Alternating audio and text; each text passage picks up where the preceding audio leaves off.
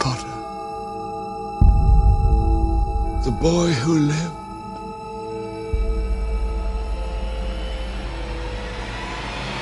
Come to die.